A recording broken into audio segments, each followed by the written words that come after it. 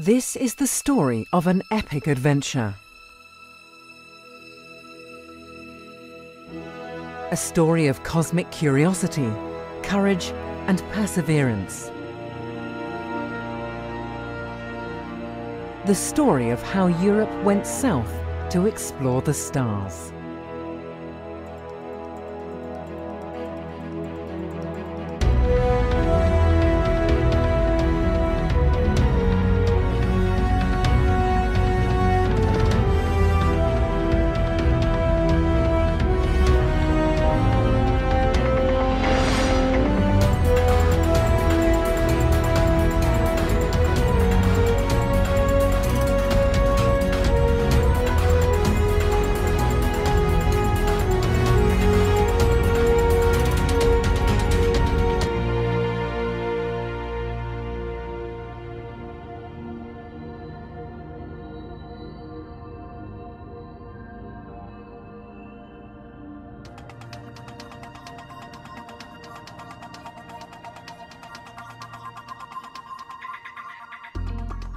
Welcome to ESO, the European Southern Observatory. 50 years old, but more vital than ever.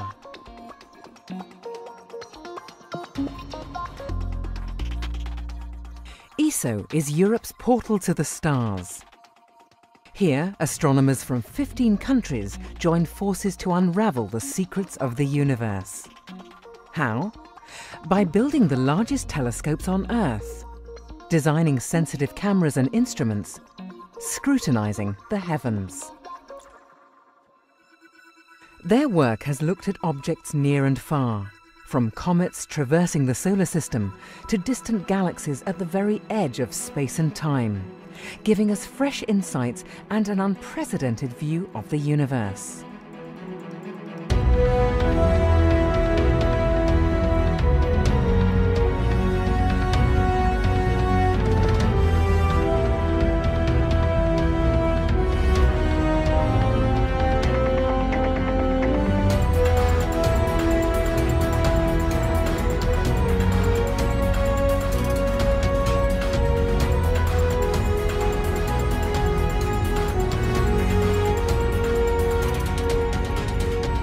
Universe of deep mysteries and hidden secrets, and staggering beauty.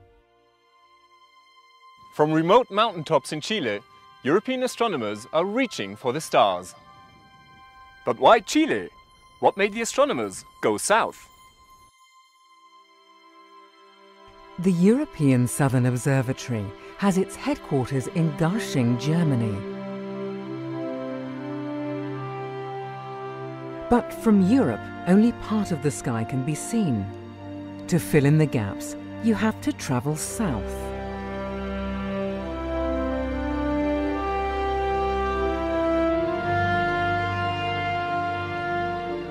For many centuries, maps of the southern sky showed extensive blank areas, the terra incognita of the heavens. 1595. For the first time, Dutch traders set sail to the East Indies.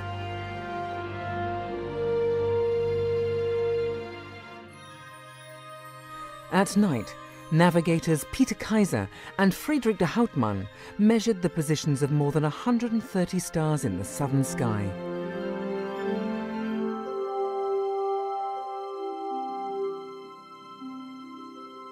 Soon, celestial globes and maps showed 12 new constellations, none of which had ever been seen before by any European. The British were the first to construct a permanent astronomical outpost in the Southern Hemisphere. The Royal Observatory at the Cape of Good Hope was founded in 1820.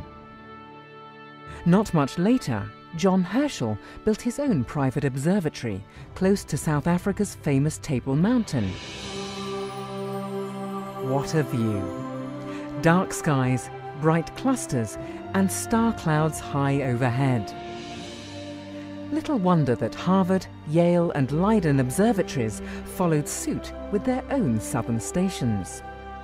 But the exploration of the southern sky still took lots of courage, passion and perseverance.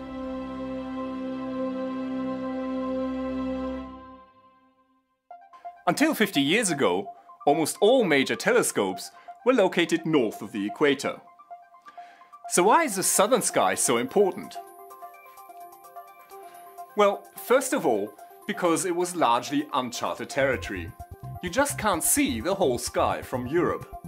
A prominent example is the center of the Milky Way, our home galaxy.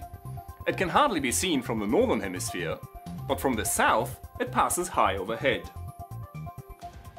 And then there are the Magellanic Clouds, two small companion galaxies to the Milky Way. Invisible from the north, but very conspicuous if you're south of the equator. And then finally, European astronomers were hindered by light pollution and poor weather. Going south would solve most of their problems.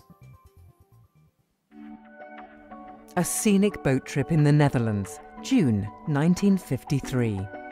It was here, on the IJsselmeer, that the German-American astronomer Walter Baade and the Dutch astronomer Jan Oort told colleagues about their plan for a European observatory in the southern hemisphere.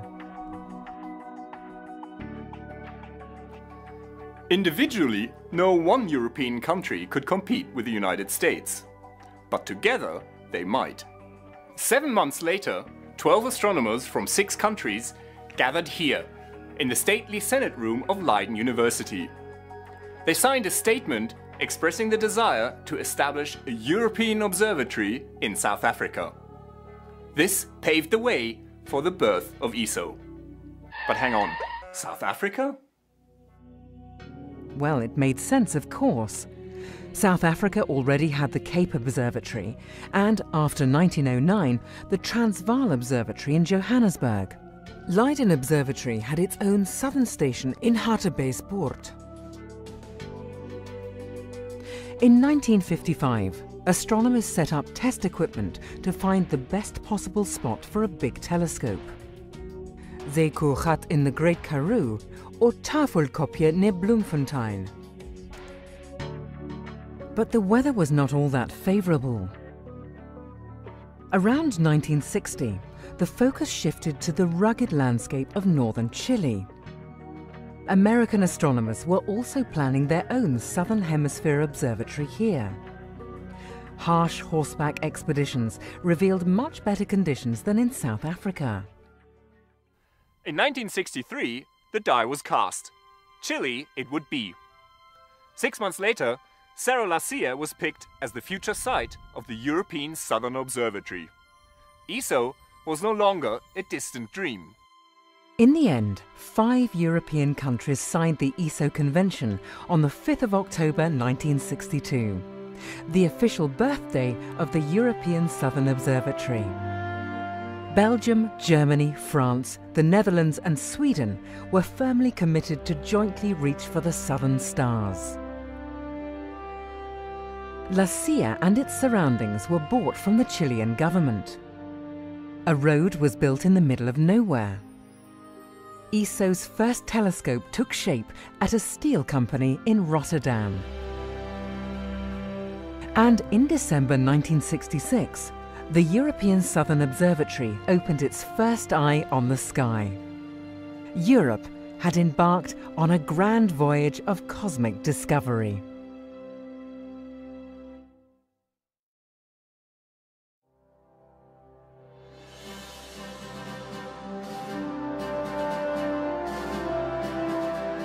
Hundred and sixty-seven thousand years ago, a star exploded in a small galaxy orbiting the Milky Way. At the time of the distant explosion, Homo sapiens just started to roam the African savanna. But no one could have noticed the cosmic fireworks, as the blast of light had only just embarked on its long journey towards Earth. By the time light from the supernova had completed 98% of its journey, Greek philosophers had just started to think about the nature of the cosmos. Just before the light reached Earth, Galileo Galilei trained his first primitive telescopes on the heavens. And on the 24th of February 1987, when photons from the explosion finally rained down on our planet, astronomers were ready to observe the supernova in great detail. Supernova 1987A flared up in the southern sky, unobservable from Europe or the United States. But by this time, ESO had built its first big telescopes in Chile, providing astronomers with a front row seat to this cosmic spectacle. The telescope is, of course, the central tool that allows us to unravel the secrets of the universe. Telescopes collect far more light than the unaided human eye, so they reveal fainter stars and let us peer deeper into space. Like magnifying glasses, they also show finer detail.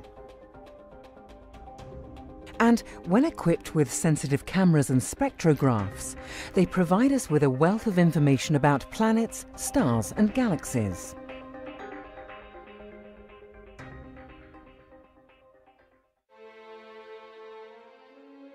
ESO's first telescopes on La Silla were a mixed bunch.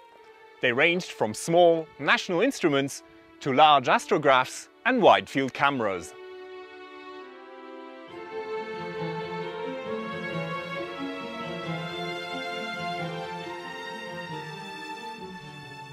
The 2.2 meter telescope, now almost 30 years old, is still producing some of the most dramatic views of the cosmos.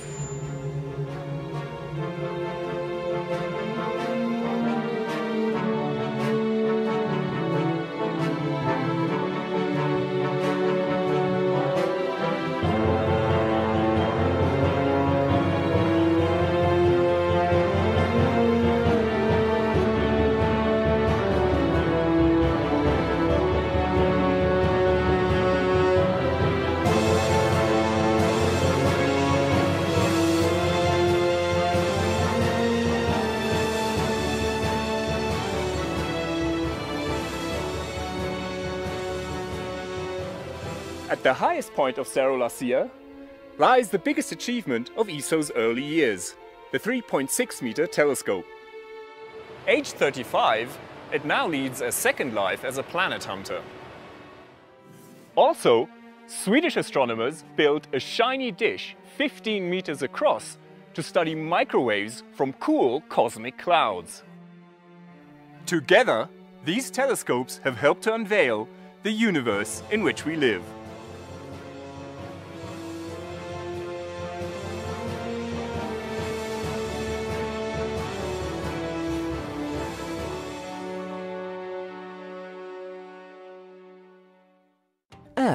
Is just one of eight planets in the solar system.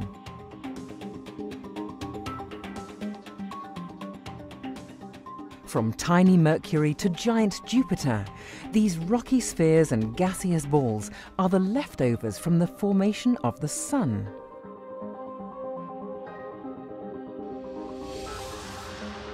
The Sun, in turn, is a middle-of-the-road star in the Milky Way galaxy one pinprick of light amidst hundreds of billions of similar stars, as well as bloated red giants, imploded white dwarfs, and rapidly spinning neutron stars. The spiral arms of the Milky Way are sprinkled with glowing nebulae, spawning bright clusters of newborn stars, while old globular clusters slowly swarm about the galaxy.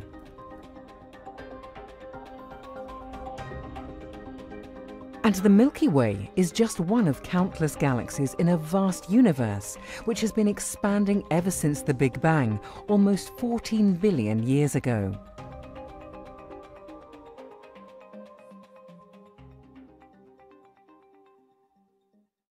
Over the past 50 years, ESO has helped to uncover our place in the universe. And by looking up, we have also discovered our own origins. We are part of the big cosmic story. Without stars, we wouldn't be here. The universe started out with hydrogen and helium, the two lightest elements. But stars are nuclear ovens, turning light elements into heavier ones. And supernovae, like 1987A, seed the universe with the products of this stellar alchemy. When the solar system formed some 4.6 billion years ago, it contained trace amounts of these heavier elements, metals and silicates, but also carbon and oxygen. The carbon in our muscles, the iron in our blood, and the calcium in our bones were all forged in an earlier generation of stars. You and I were literally made in heaven. But answers always lead to new questions. The more we learn, the deeper the mysteries become. What is the origin and ultimate fate of galaxies? Are there other solar systems out there? And could there be life on alien worlds?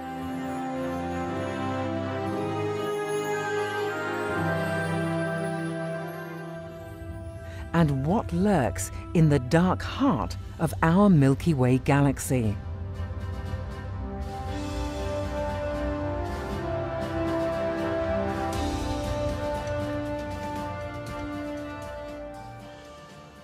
Astronomers were clearly in need of more powerful telescopes, and ESO provided them with revolutionary new tools.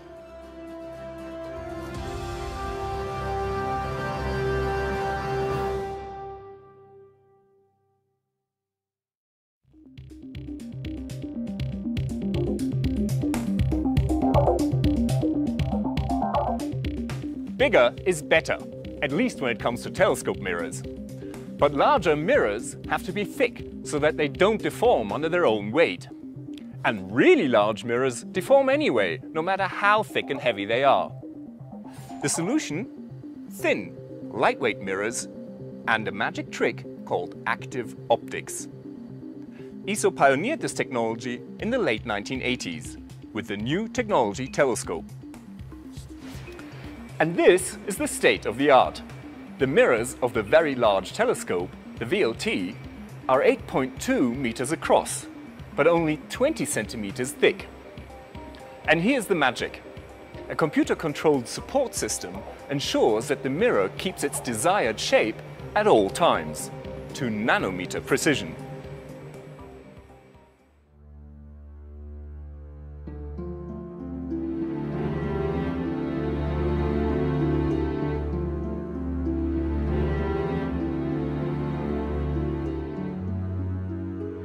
The VLT is ESO's flagship facility.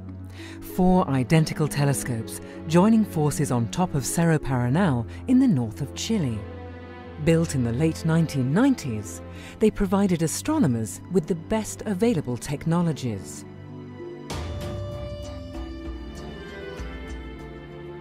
In the middle of the Atacama Desert, ESO created an astronomer's paradise.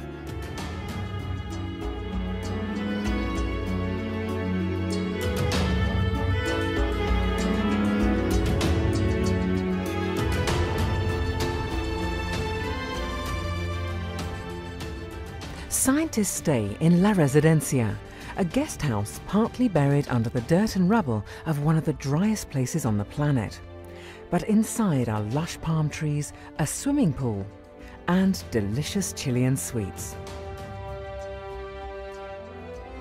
Of course, the unique selling point of the Very Large Telescope is not its swimming pool, but its unequalled view of the universe.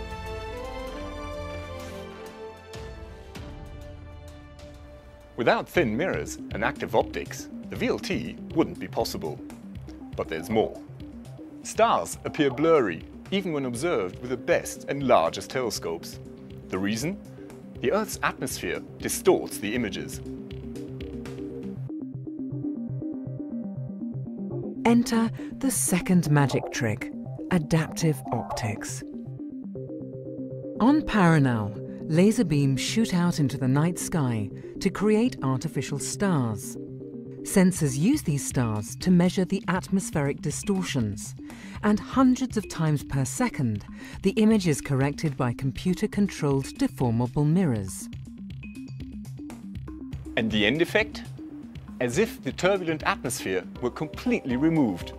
Just look at the difference.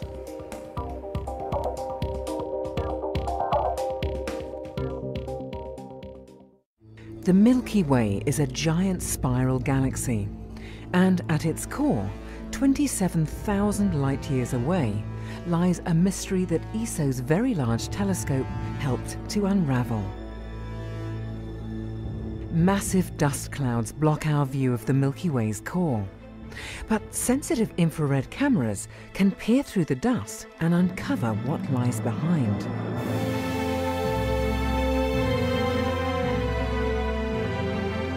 Assisted by adaptive optics, they reveal dozens of red giant stars. And over the years, these stars are seen to move.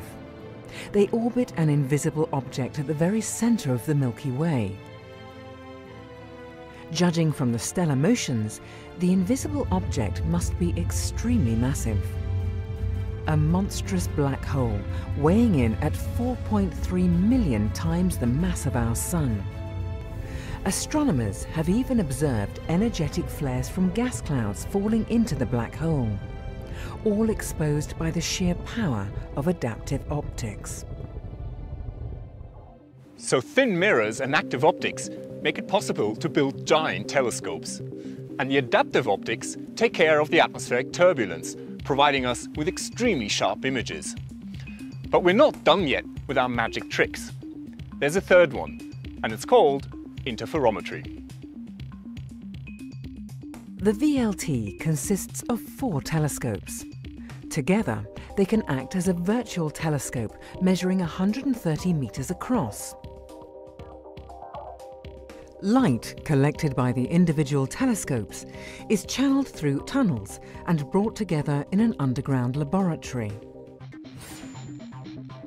Here, the light waves are combined using laser metrology and intricate delay lines.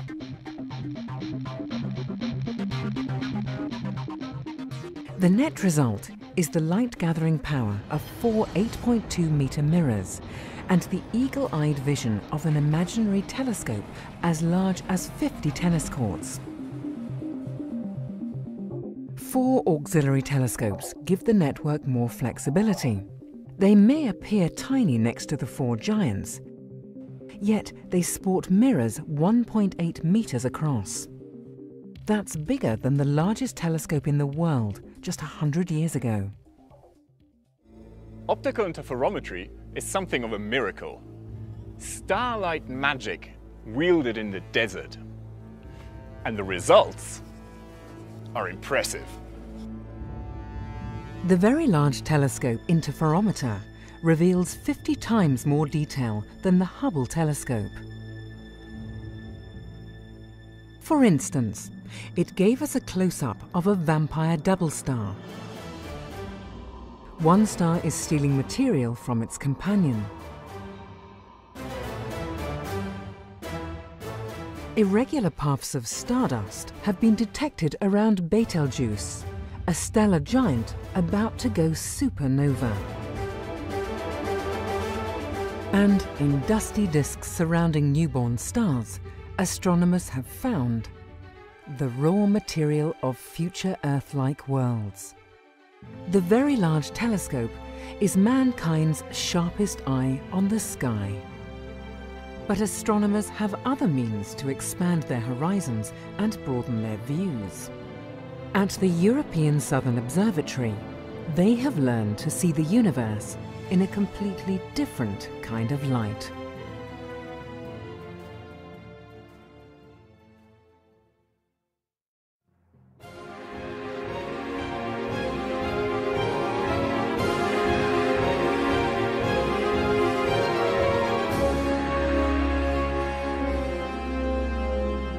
Great music, isn't it?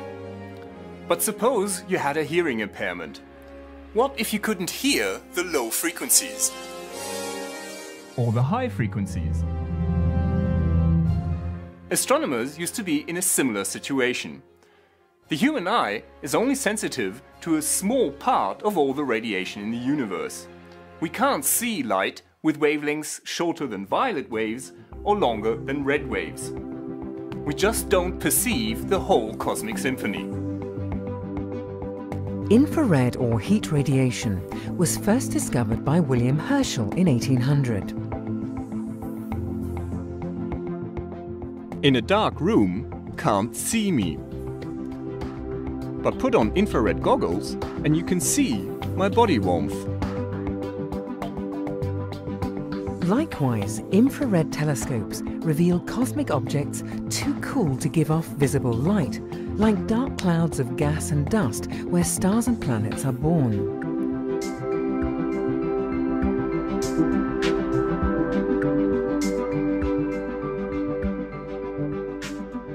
For decades, ESO astronomers have been keen to explore the universe at infrared wavelengths. But the first detectors were small and hence inefficient. They gave us a blurry view of the infrared sky. Today's infrared cameras are huge and powerful. They're cooled to very low temperatures to increase their sensitivity. And ESO's Very Large Telescope is designed to make good use of them.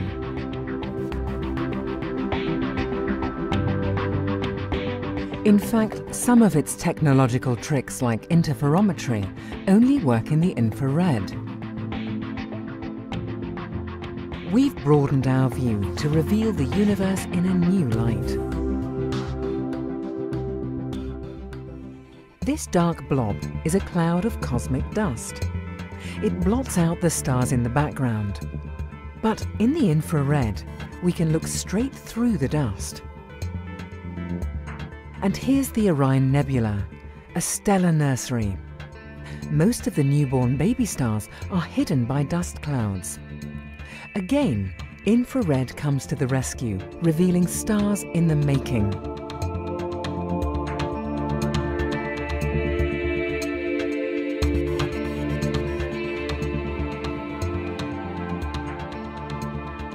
At the end of their lives, stars blow out bubbles of gas cosmic showpieces at optical wavelengths. But the infrared picture shows much more detail. Don't forget the stars and gas clouds captured by the monstrous black hole in the core of our Milky Way galaxy. Without infrared cameras, we would never see them. In other galaxies, infrared studies have revealed the true distribution of stars like our own Sun. The farthest galaxies are best studied in the infrared. Their light has been shifted to these long wavelengths by the expansion of the universe. Close to Paranal is a small mountain peak with an isolated building on top. Inside this building is the 4.1 meter Vista telescope. It was built in the United Kingdom, ESO's 10th member state.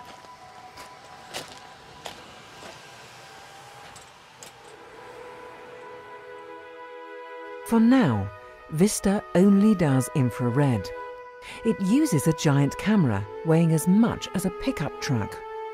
And yes, Vista offers unprecedented vistas of the infrared universe. ESO's been doing optical astronomy since its birth 50 years ago. And infrared astronomy for about 30 years.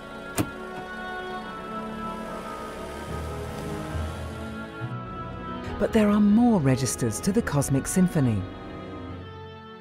5,000 meters above sea level, high in the Chilean Andes, is the Chajnantor Plateau. Astronomy doesn't go higher than this. Chajnantor is home to ALMA, the Atacama Large Millimeter Submillimeter Array. ALMA is still under construction at a site that is so hostile that it's even hard to breathe. With just 10 of the 66 antennas in place, ALMA made its first observations in the autumn of 2011. Millimeter waves from space. To observe them, you need to be high and dry. Chajnantor is one of the best places in the world for this.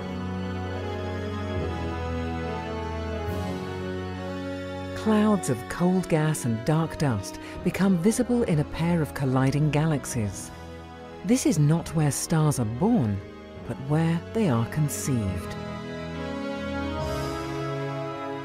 And these spiral waves in the outflow of a dying star, could they be due to an orbiting planet?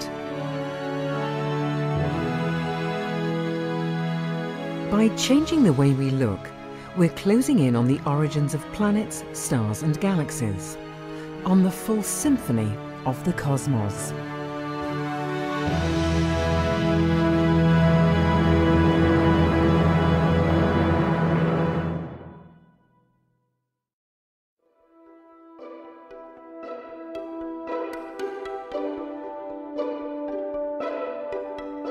Stéphane Guisard loves the stars. No wonder he loves northern Chile too. Here, the view of the universe is amongst the best in the world. And no wonder he loves the European Southern Observatory, Europe's eye on the sky. Stéphane is a prize-winning French photographer and author.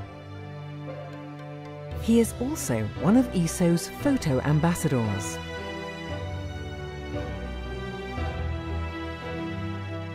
In breathtaking pictures, he captures the solitude of the Atacama Desert, the high-tech perfection of giant telescopes, and the magnificence of the night sky.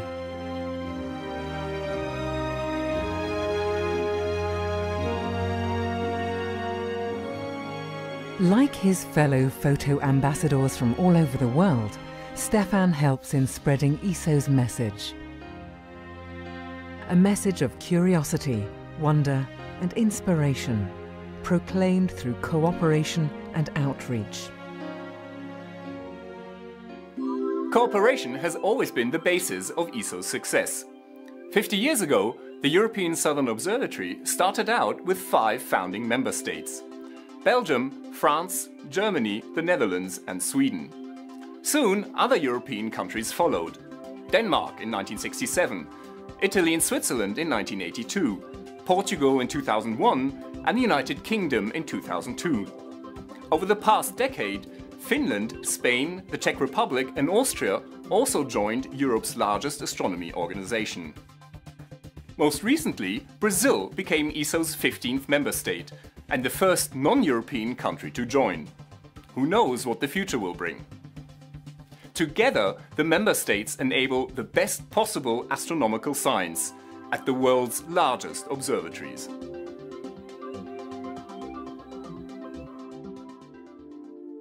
It's good for their economies too. ESO closely cooperates with industry in both Europe and Chile.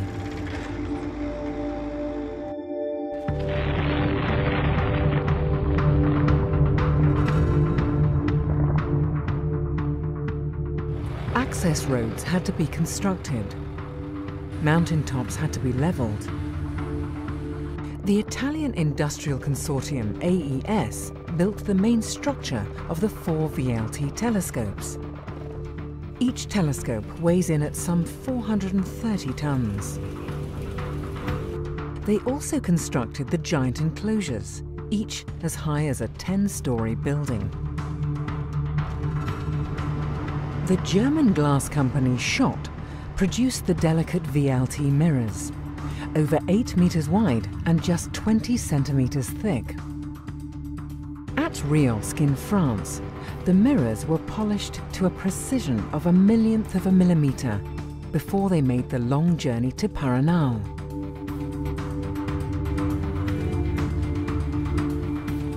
Meanwhile, universities and research institutes across Europe developed sensitive cameras and spectrometers. ESO's telescopes are built with taxpayers' money, your money, and so you can take part in the excitement. For example, ESO's website is a rich source of astronomical information, including thousands of beautiful pictures and videos. Also, ESO produces magazines, press releases and video documentaries, such as the one you're watching right now. And throughout the world, the European Southern Observatory contributes to exhibitions and science fairs.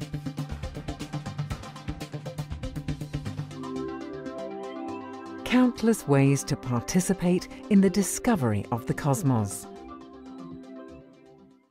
Did you know that the names of the four VLT telescopes were thought up by a young Chilean girl? 17-year-old Jorssy Albanez Castilla suggested the names Antu, Kueyen, Melipal and Yepun, meaning sun, moon, Southern Cross and Venus in the Mapuche language. Involving schoolchildren and students like Jorssy is important. That's where ESO's educational activities come in, like student exercises and school lectures. When the planet Venus passed in front of the Sun in 2004, a special program was aimed at European students and teachers. And in 2009, during the International Year of Astronomy, ESO reached millions of school children and students all over the world. After all, today's children are tomorrow's astronomers.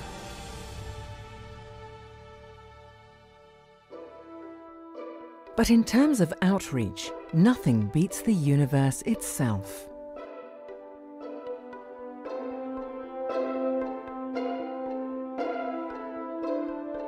Astronomy is a visual science. Images of galaxies, star clusters and stellar nurseries fire our imagination.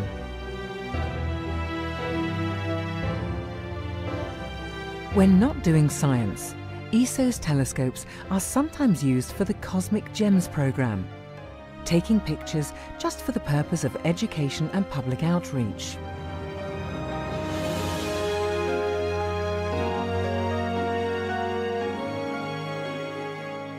After all, a picture is worth a thousand words. The general public can even take part in creating these staggering images through the Hidden Treasures competitions. Russian astronomy enthusiast Igor Chekalin won the competition in 2010. His marvellous images are based on real science data.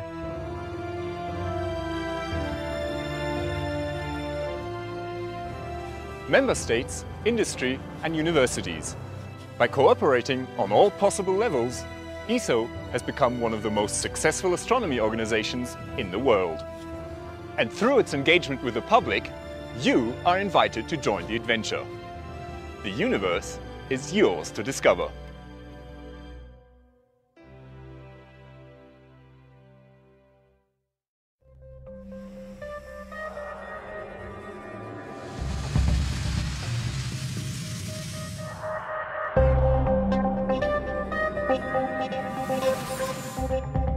For half a century, the European Southern Observatory has showcased the splendour of the universe.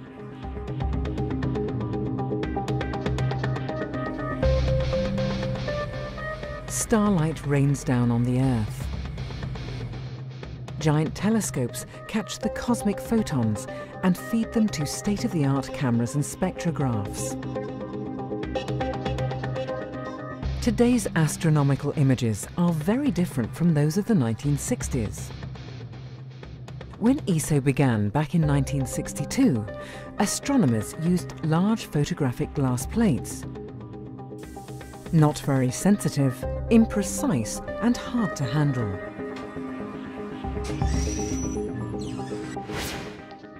What a difference today's electronic detectors have made. They catch almost every photon. The images are available instantaneously and, most importantly, they can be processed and analysed by computer software. Astronomy has truly become a digital science.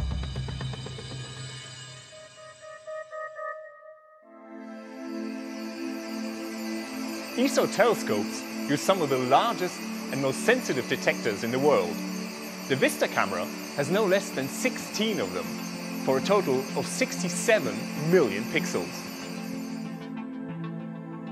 This huge instrument catches infrared light from cosmic dust clouds, newborn stars and distant galaxies.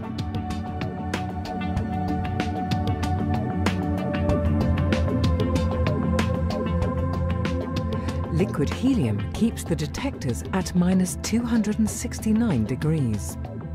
Vista takes an inventory of the southern sky, like an explorer surveying an unknown continent. The VLT Survey Telescope is another discovery machine, but this one works at visible wavelengths.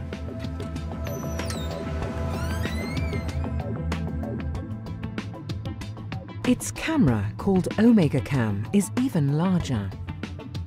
32 CCDs team up to produce spectacular images with a mind-boggling 268 million pixels. The field of view is one square degree, four times as large as the full moon. Omega Cam generates 50 gigabytes of data every night. And these are just gorgeous gigabytes.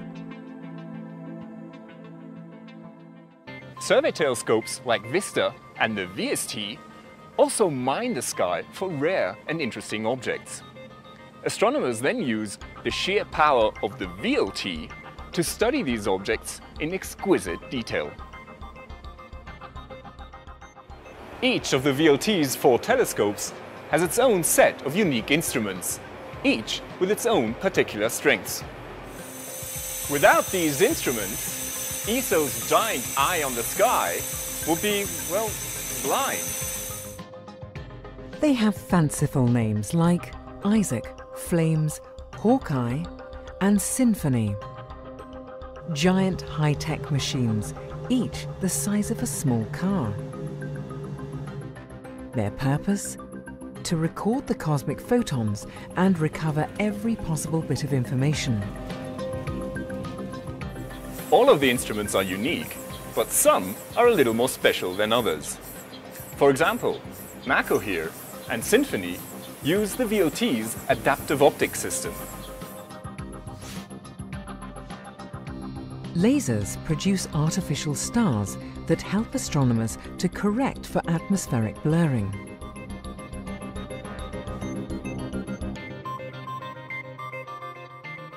NACO's images are as sharp as if they were taken from outer space. And then there's MIDI and AMBER, two interferometric instruments. Here, light waves from two or more telescopes are brought together as if they were captured by one giant single mirror. The result? The sharpest views you can imagine. But astronomy is not only about taking images.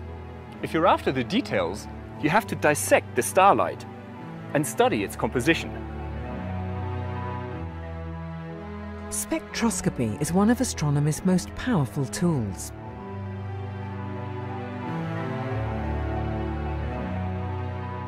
No wonder ESO boosts some of the world's most advanced spectrographs, like the powerful X-Shooter. Images carry more beauty, but spectra reveal more information. Composition, motions, ages.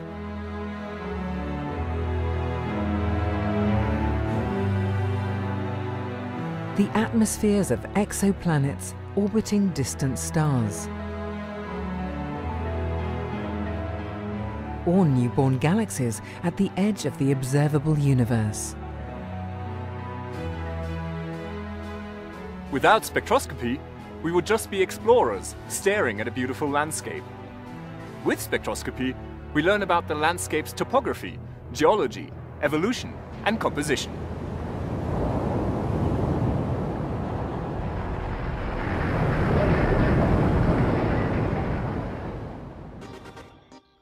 And there's one more thing. Despite its serene beauty, the universe is a violent place. Things go bump in the night, and astronomers want to catch each and every event. Massive stars end their lives in titanic supernova explosions.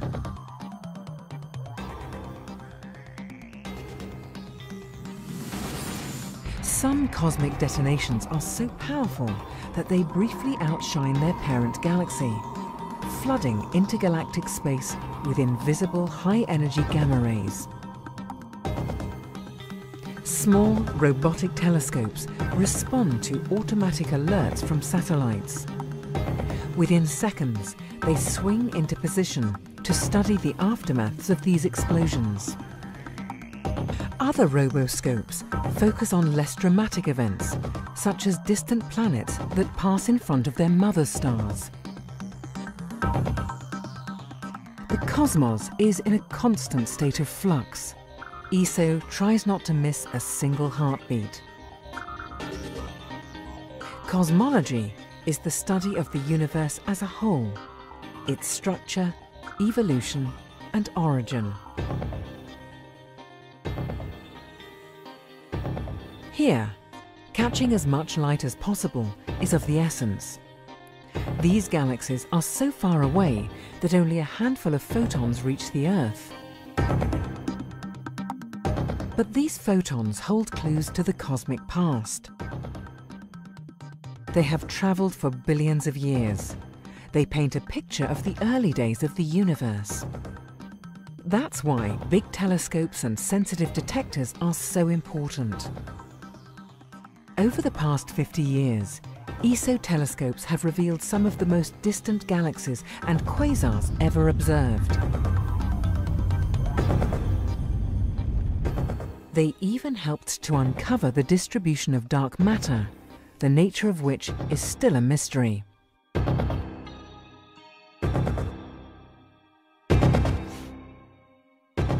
Who knows what the next 50 years will bring?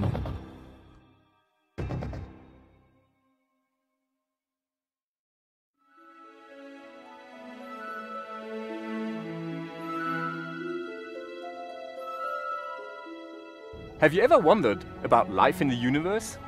Inhabited planets orbiting distant stars? Well, astronomers have for centuries.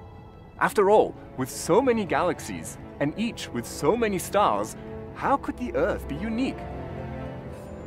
In 1995, Swiss astronomers Michel Mayor and Didier Queloz were the first to discover an exoplanet orbiting a normal star. Since then, planet hunters have found many hundreds of alien worlds, large and small, hot and cold, and in a wide variety of orbits. Now, we're on the brink of discovering Earth's twin sisters. And in the future, a planet with life. The holy grail of astrobiologists.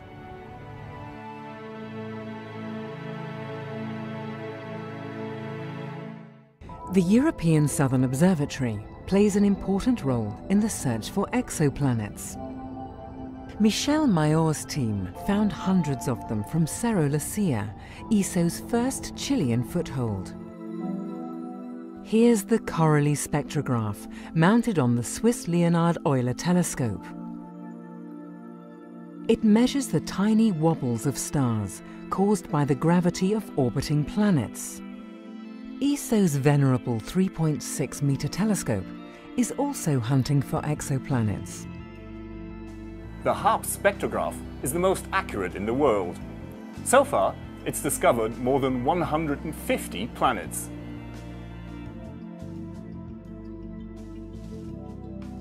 Its biggest trophy, a rich system containing at least five and maybe as many as seven alien worlds.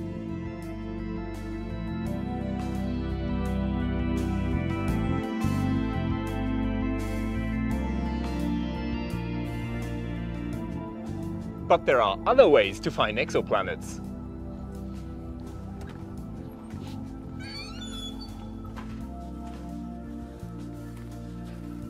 In 2006, the 1.5 meter Danish telescope helped to discover a distant planet that is just five times more massive than the Earth. The trick? Gravitational microlensing. The planet and its parent star passed in front of a brighter star in the background, magnifying its image. And in some cases, you can even capture exoplanets on camera. In 2004, NACO, the adaptive optics camera on the Very Large Telescope, took the first image ever of an exoplanet.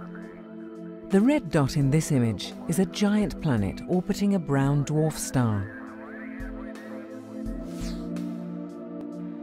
In 2010, NACO went one step further. This star is 130 light years away from Earth. It is younger and brighter than the Sun, and four planets circle around it in wide orbits. NACO's eagle-eyed vision made it possible to measure the light of planet C, a gas giant 10 times more massive than Jupiter. Despite the glare of the parent star, the feeble light of the planet could be stretched out into a spectrum, revealing details about the atmosphere. Today, many exoplanets are discovered when they transit across their parent stars. If we happen to see the planet's orbit edge on, it will pass in front of its star every cycle. Thus, Tiny regular brightness dips in the light of a star betray the existence of an orbiting planet. The TRAPPIST telescope at La Silla will help search for these elusive transits. Meanwhile, the Very Large Telescope has studied a transiting planet in exquisite detail. Meet GJ1214b, a super-Earth 2.6 times larger than our home planet. During transits, the planet's atmosphere partly absorbs the light of the parent star. ESO's sensitive FORS spectrograph revealed that GJ1214b might well be a hot and steamy sauna world. Gas giants and sauna worlds are inhospitable to life, but the hunt is not over yet. Soon, the new SPHERE instrument will be installed at the VLT. SPHERE will be able to spot faint planets in the glare of their host stars. In 2016, the Espresso spectrograph will arrive at the VLT and greatly surpass the current HARPS instrument and ESO's extremely large telescope, once completed, may well find evidence for alien biospheres.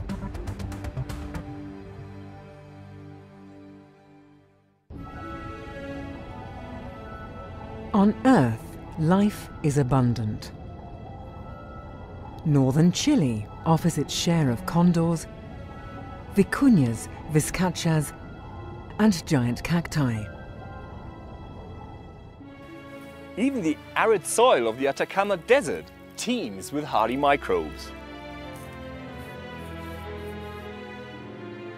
We've found the building blocks of life in interstellar space.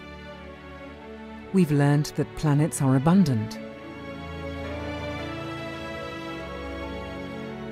Billions of years ago, comets brought water and organic molecules to Earth. Wouldn't we expect the same thing to happen elsewhere?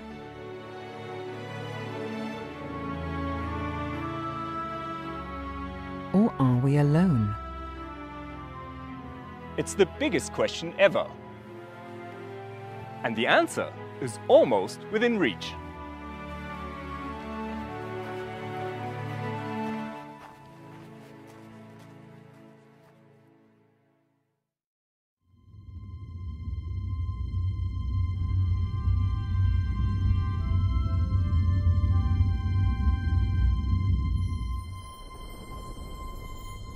Astronomy is big science. It's a vast universe out there, and the exploration of the cosmos requires huge instruments. This is the 5-metre Hale reflector on Palomar Mountain. When the European Southern Observatory came into being 50 years ago, it was the largest telescope in the world. ESO's Very Large Telescope at Cerro Paranal is the state of the art now. As the most powerful observatory in history, it has revealed the full splendour of the universe in which we live. But astronomers have set their sights on even bigger instruments, and ESO is realising their dreams.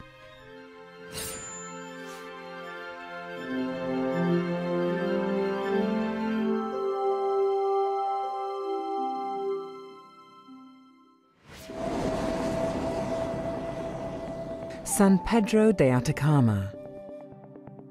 Tucked amidst breathtaking scenery and natural wonders, this picturesque town is home to indigenous Atacameños and adventurous backpackers alike. And ESO astronomers and technicians.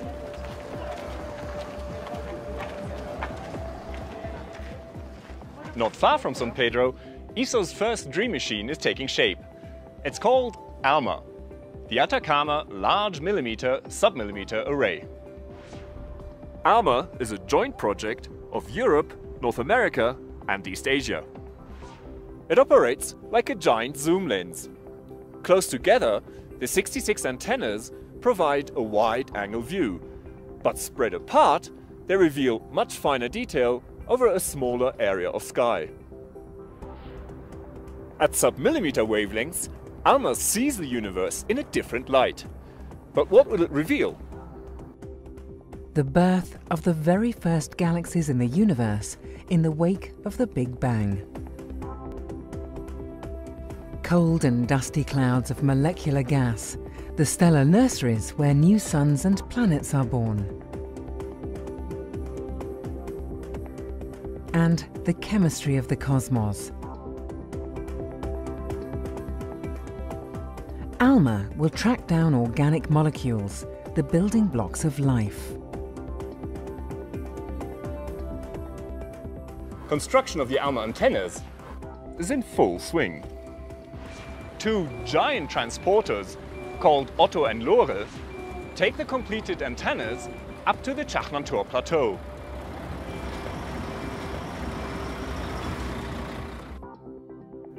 At 5,000 meters above sea level, the array provides an unprecedented view of the microwave universe.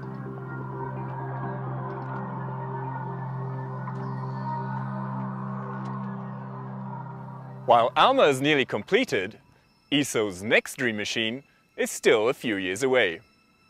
See that mountain over there? That's Cerro Armazones. Not far from Paranal, it will be home to the largest telescope in the history of mankind. Meet the European Extremely Large Telescope, the world's biggest eye on the sky.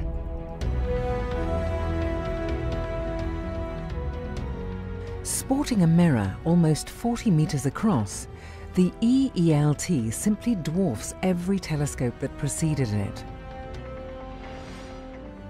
Almost 800 computer-controlled mirror segments, complex optics to provide the sharpest possible images. A dome as tall as a church steeple.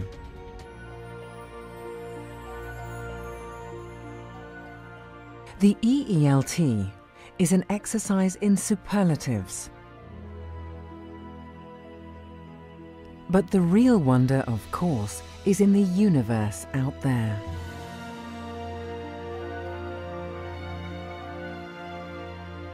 The EELT will reveal planets orbiting other stars. Its spectrographs will sniff the atmosphere of these alien worlds, looking for biosignatures. Further away, the EELT will study individual stars in other galaxies. It's like meeting the inhabitants of neighbouring cities for the first time. Working as a cosmic time machine, the giant telescope lets us look back billions of years to learn how everything began. And it may solve the riddle of the accelerating universe, the mysterious fact that galaxies are pushed away from each other faster and faster.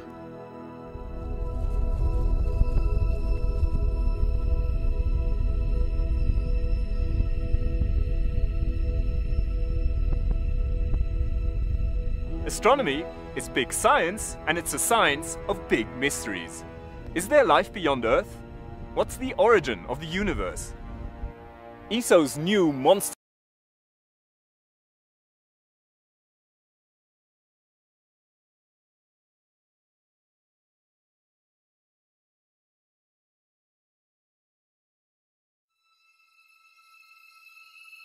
This is the story of an epic adventure. Story of cosmic curiosity, courage, and perseverance. The story of how Europe went south to explore the stars.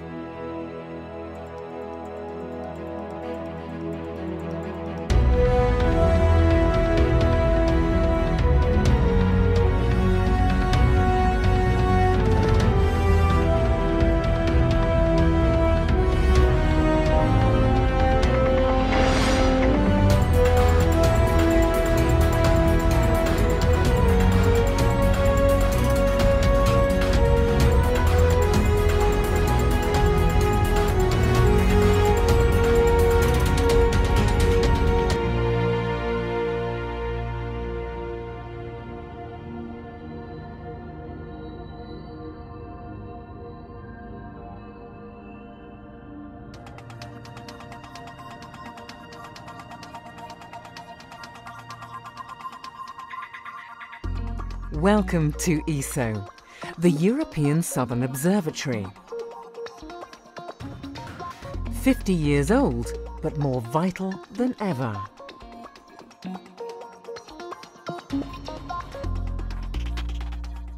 ESO is Europe's portal to the stars.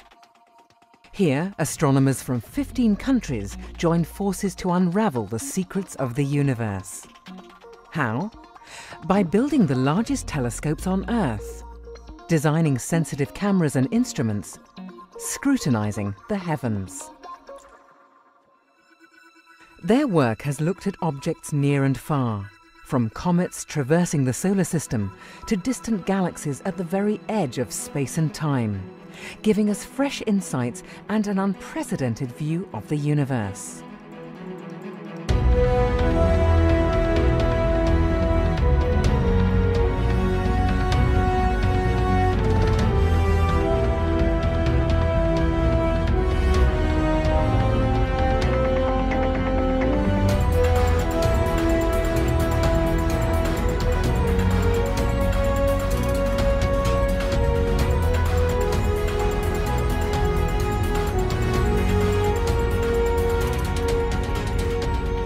Universe of deep mysteries and hidden secrets, and staggering beauty. From remote mountaintops in Chile, European astronomers are reaching for the stars. But why Chile? What made the astronomers go south?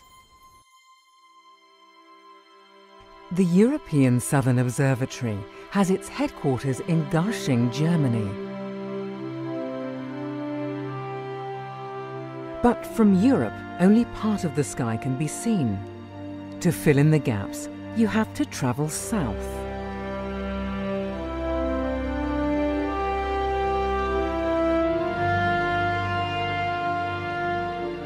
For many centuries, maps of the southern sky showed extensive blank areas, the terra incognita of the heavens. 1595. For the first time, Dutch traders set sail to the East Indies.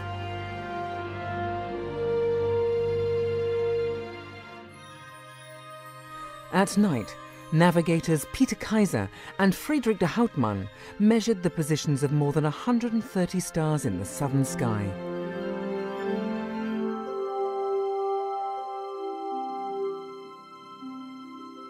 Soon, celestial globes and maps showed 12 new constellations, none of which had ever been seen before by any European. The British were the first to construct a permanent astronomical outpost in the Southern Hemisphere.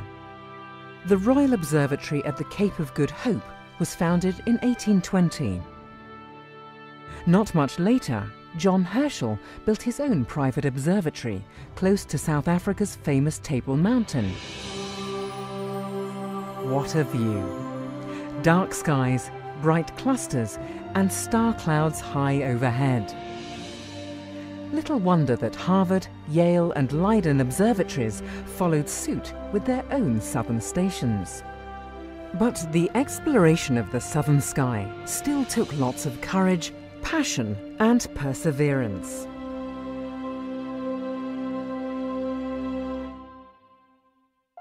Until 50 years ago, almost all major telescopes were located north of the equator. So why is the southern sky so important? Well, first of all, because it was largely uncharted territory. You just can't see the whole sky from Europe. A prominent example is the center of the Milky Way, our home galaxy. It can hardly be seen from the northern hemisphere, but from the south it passes high overhead. And then there are the Magellanic Clouds, two small companion galaxies to the Milky Way. Invisible from the north, but very conspicuous if you're south of the equator. And then finally, European astronomers were hindered by light pollution and poor weather. Going south would solve most of their problems. A scenic boat trip in the Netherlands, June 1953. It was here, on the IJsselmeer, that the German-American astronomer Walter Baade and the Dutch astronomer Jan Oort told colleagues about their plan for a European observatory in the southern hemisphere. Individually, no one European country could compete with the United States. But together, they might. Seven months later, 12 astronomers from six countries gathered here in the stately Senate room of Leiden University. They signed a statement expressing the desire to establish a European observatory in South Africa. This paved the way for the birth of ESO. But hang on, South Africa? Well, it made sense, of course. South Africa already had the Cape Observatory, and after 1909, the Transvaal Observatory in Johannesburg. Leiden Observatory had its own southern station in Hartbeespoort. In 1955, astronomers set up test equipment to find the best possible spot for a big telescope. Zeekoegat in the Great Karoo or Tafelkopje near Bloemfontein. But the weather was not all that favourable. Around 1960, the focus shifted to the rugged landscape of northern Chile. American astronomers were also planning their own Southern Hemisphere observatory here. Harsh horseback expeditions revealed much better conditions than in South Africa. In 1963, the die was cast. Chile it would be. Six months later, Cerro La Silla was picked as the future site of the European Southern Observatory. ESO was no longer a distant dream. In the end, five European countries signed the ESO Convention on the 5th of October 1962, the official birthday of the European Southern Observatory.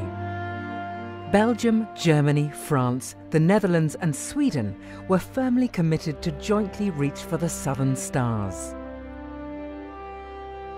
La Silla and its surroundings were bought from the Chilean government.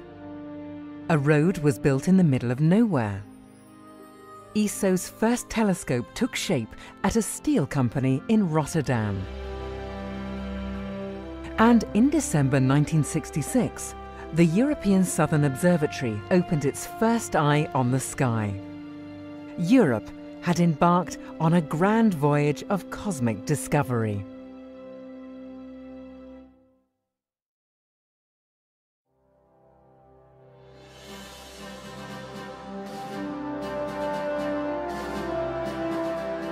167,000 years ago, a star exploded in a small galaxy orbiting the Milky Way.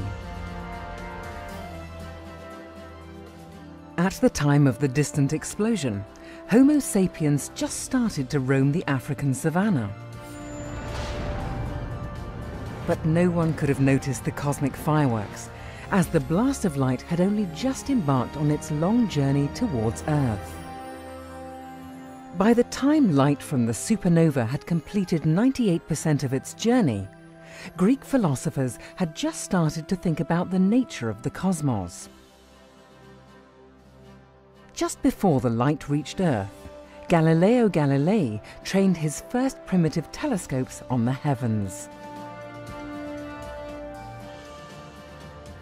And on the 24th of February 1987, when photons from the explosion finally rained down on our planet, astronomers were ready to observe the supernova in great detail. Supernova 1987A flared up in the southern sky, unobservable from Europe or the United States. But by this time, ESO had built its first big telescopes in Chile, providing astronomers with a front row seat to this cosmic spectacle. The telescope is, of course, the central tool that allows us to unravel the secrets of the universe. Telescopes collect far more light than the unaided human eye, so they reveal fainter stars and let us peer deeper into space. Like magnifying glasses, they also show finer detail. And when equipped with sensitive cameras and spectrographs, they provide us with a wealth of information about planets, stars and galaxies.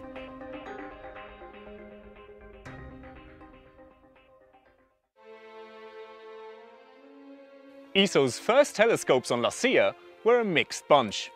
They ranged from small national instruments to large astrographs and wide-field cameras.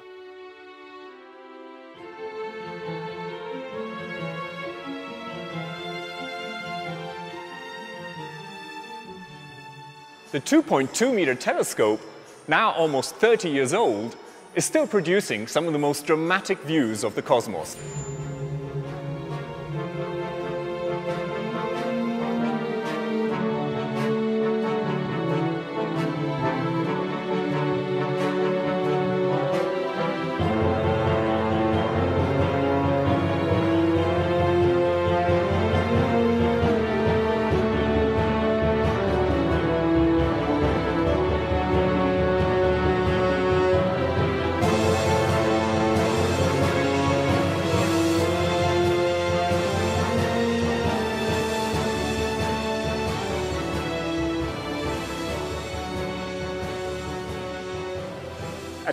Point of Cerro La Silla lies the biggest achievement of ESO's early years, the 3.6 meter telescope. Aged 35, it now leads a second life as a planet hunter.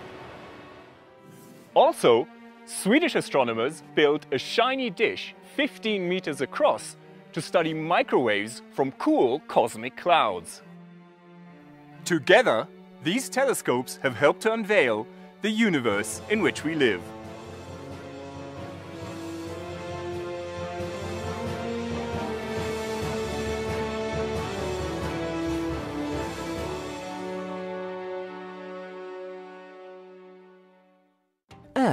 Is just one of eight planets in the solar system.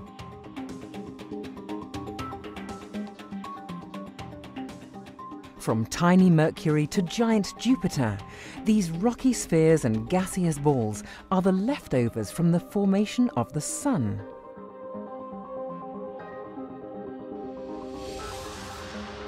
The Sun, in turn, is a middle-of-the-road star in the Milky Way galaxy. One pinprick of light amidst hundreds of billions of similar stars, as well as bloated red giants, imploded white dwarfs, and rapidly spinning neutron stars. The spiral arms of the Milky Way are sprinkled with glowing nebulae, spawning bright clusters of newborn stars, while old globular clusters slowly swarm about the galaxy.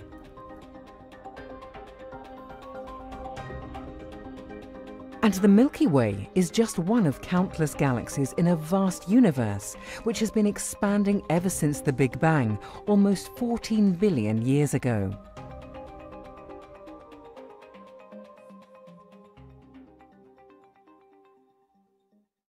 Over the past 50 years, ESO has helped to uncover our place in the universe. And by looking up, we have also discovered our own origins. We are part of the big cosmic story. Without stars, we wouldn't be here. The universe started out with hydrogen and helium, the two lightest elements. But stars are nuclear ovens, turning light elements into heavier ones.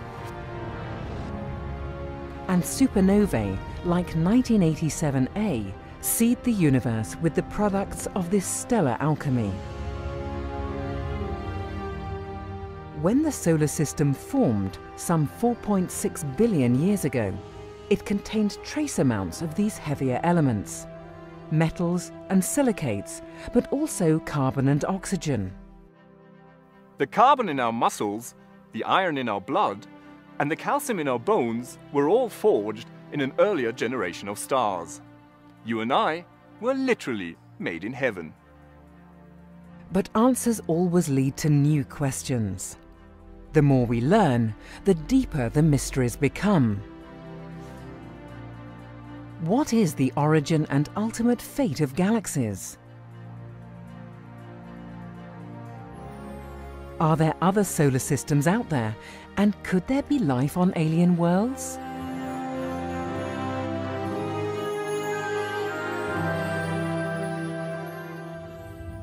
And what lurks in the dark heart of our Milky Way galaxy?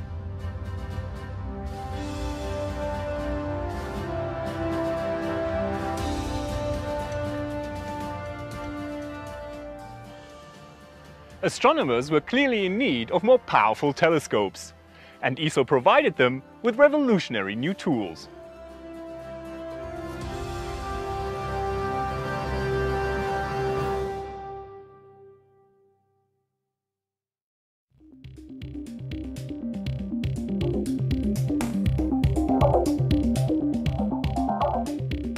Bigger is better, at least when it comes to telescope mirrors.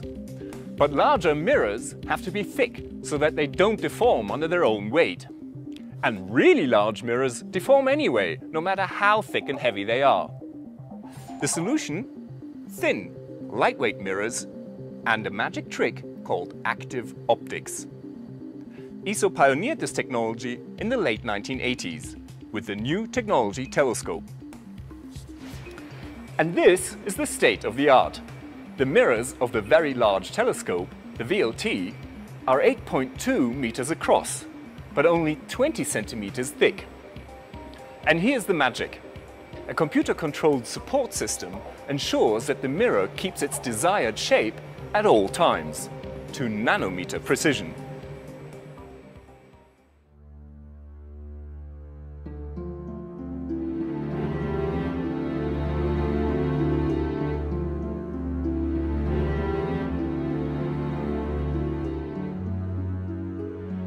VLT is ESO's flagship facility. Four identical telescopes joining forces on top of Cerro Paranal in the north of Chile. Built in the late 1990s, they provided astronomers with the best available technologies.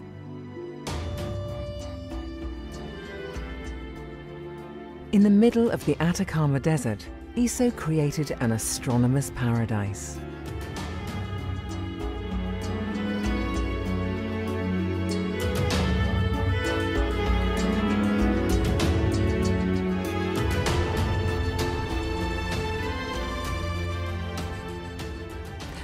Scientists stay in La Residencia, a guest house partly buried under the dirt and rubble of one of the driest places on the planet.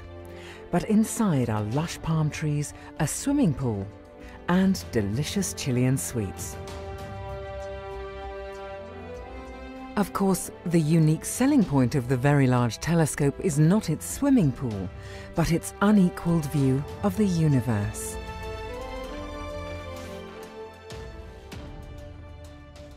Without thin mirrors and active optics, the VLT wouldn't be possible. But there's more. Stars appear blurry, even when observed with the best and largest telescopes. The reason? The Earth's atmosphere distorts the images. Enter the second magic trick, adaptive optics. On Paranal, laser beams shoot out into the night sky to create artificial stars.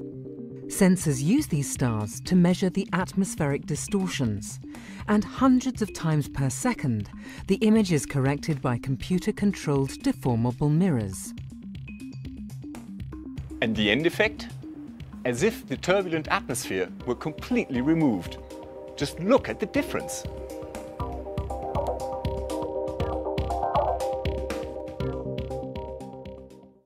The Milky Way is a giant spiral galaxy, and at its core, 27,000 light years away, lies a mystery that ESO's Very Large Telescope helped to unravel. Massive dust clouds block our view of the Milky Way's core. But sensitive infrared cameras can peer through the dust and uncover what lies behind.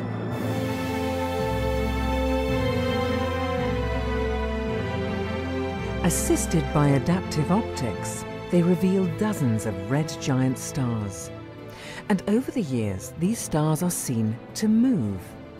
They orbit an invisible object at the very center of the Milky Way. Judging from the stellar motions, the invisible object must be extremely massive. A monstrous black hole weighing in at 4.3 million times the mass of our Sun. Astronomers have even observed energetic flares from gas clouds falling into the black hole, all exposed by the sheer power of adaptive optics. So thin mirrors and active optics make it possible to build giant telescopes. And the adaptive optics take care of the atmospheric turbulence, providing us with extremely sharp images. But we're not done yet with our magic tricks. There's a third one, and it's called interferometry. The VLT consists of four telescopes. Together, they can act as a virtual telescope measuring 130 metres across. Light collected by the individual telescopes is channeled through tunnels and brought together in an underground laboratory. Here, the light waves are combined using laser metrology and intricate delay lines.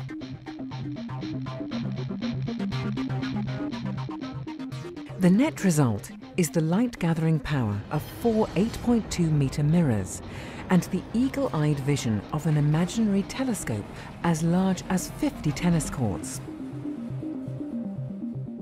Four auxiliary telescopes give the network more flexibility. They may appear tiny next to the four giants, yet they sport mirrors 1.8 metres across. That's bigger than the largest telescope in the world just 100 years ago. Optical interferometry is something of a miracle. Starlight magic wielded in the desert. And the results are impressive. The Very Large Telescope Interferometer reveals 50 times more detail than the Hubble telescope. For instance, it gave us a close-up of a vampire double star. One star is stealing material from its companion. Irregular puffs of stardust have been detected around Betelgeuse, a stellar giant about to go supernova. And in dusty disks surrounding newborn stars, astronomers have found the raw material of future Earth-like worlds. The Very Large Telescope is mankind's sharpest eye on the sky. But astronomers have other means to expand their horizons and broaden their views. At the European Southern Observatory, they have learned to see the universe in a completely different kind of light.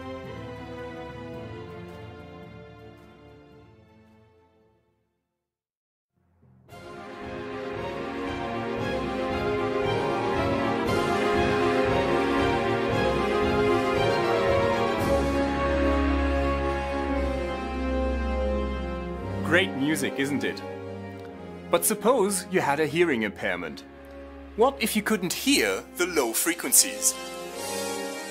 or the high frequencies. Astronomers used to be in a similar situation. The human eye is only sensitive to a small part of all the radiation in the universe. We can't see light with wavelengths shorter than violet waves or longer than red waves. We just don't perceive the whole cosmic symphony. Infrared or heat radiation was first discovered by William Herschel in 1800. In a dark room, can't see me. But put on infrared goggles and you can see my body warmth. Likewise, infrared telescopes reveal cosmic objects too cool to give off visible light, like dark clouds of gas and dust where stars and planets are born.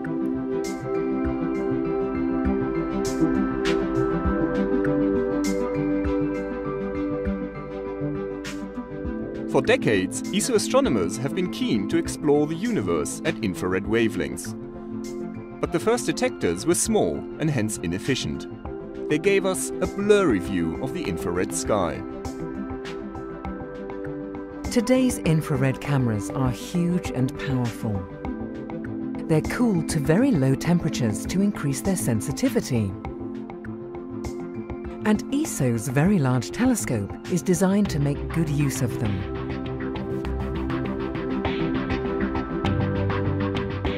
In fact, some of its technological tricks like interferometry only work in the infrared. We've broadened our view to reveal the universe in a new light. This dark blob is a cloud of cosmic dust. It blots out the stars in the background. But in the infrared, we can look straight through the dust. And here's the Orion Nebula, a stellar nursery.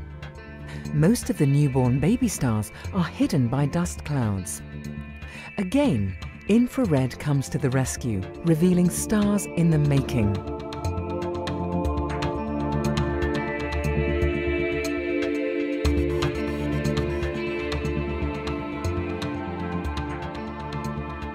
At the end of their lives, stars blow out bubbles of gas cosmic showpieces at optical wavelengths. But the infrared picture shows much more detail. Don't forget the stars and gas clouds captured by the monstrous black hole in the core of our Milky Way galaxy. Without infrared cameras, we would never see them. In other galaxies, infrared studies have revealed the true distribution of stars like our own Sun. The farthest galaxies are best studied in the infrared.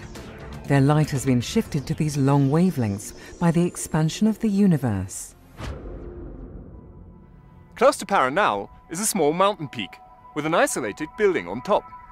Inside this building is the 4.1 meter VISTA telescope.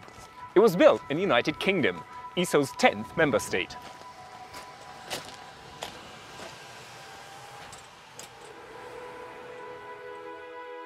For now, Vista only does infrared.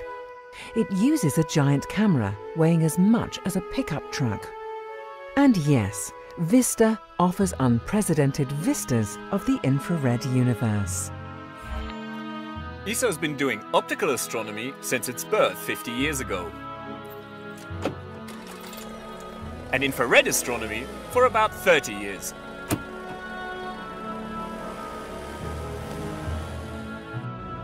But there are more registers to the cosmic symphony.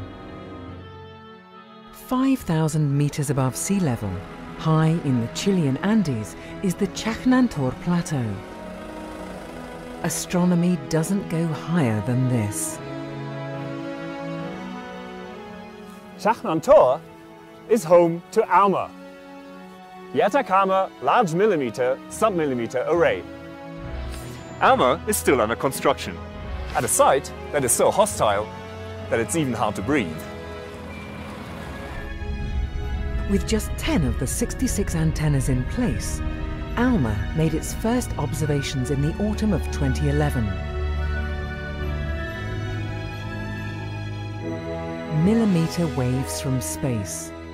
To observe them, you need to be high and dry. Chajnantor is one of the best places in the world for this.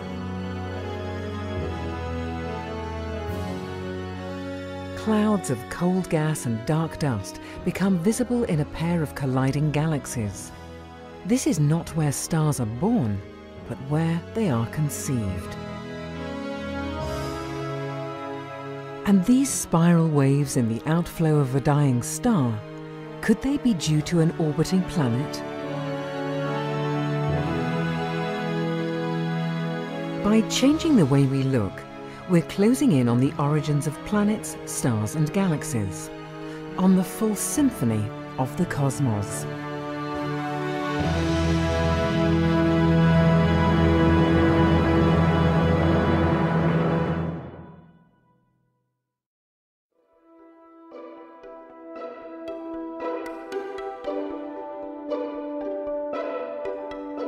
Stéphane Guisard loves the stars. No wonder he loves northern Chile too. Here, the view of the universe is amongst the best in the world. And no wonder he loves the European Southern Observatory, Europe's eye on the sky.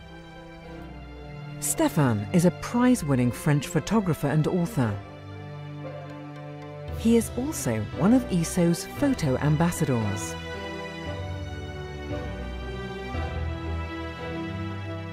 In breathtaking pictures, he captures the solitude of the Atacama Desert, the high-tech perfection of giant telescopes, and the magnificence of the night sky.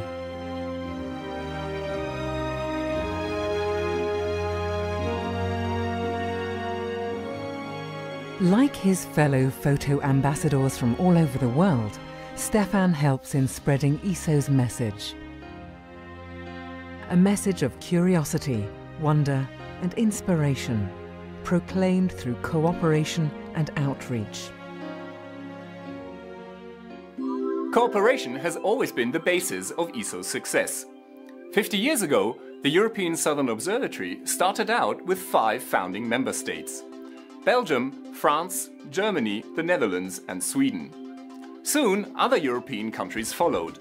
Denmark in 1967, Italy and Switzerland in 1982, Portugal in 2001 and the United Kingdom in 2002. Over the past decade, Finland, Spain, the Czech Republic and Austria also joined Europe's largest astronomy organization.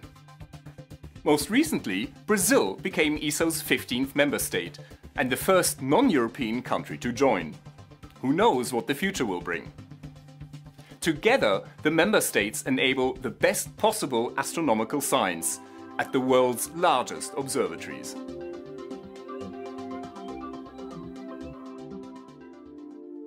It's good for their economies too.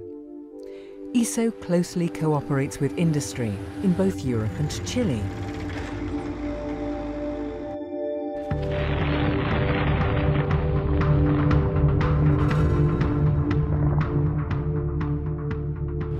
Access roads had to be constructed. Mountaintops had to be leveled. The Italian industrial consortium AES built the main structure of the four VLT telescopes. Each telescope weighs in at some 430 tons. They also constructed the giant enclosures, each as high as a 10-story building. The German glass company Schott produced the delicate VLT mirrors, over 8 metres wide and just 20 centimetres thick. At REOSC in France, the mirrors were polished to a precision of a millionth of a millimetre before they made the long journey to Paranal.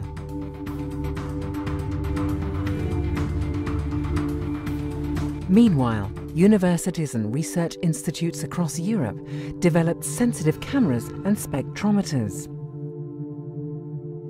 ESO's telescopes are built with taxpayers' money, your money, and so you can take part in the excitement. For example,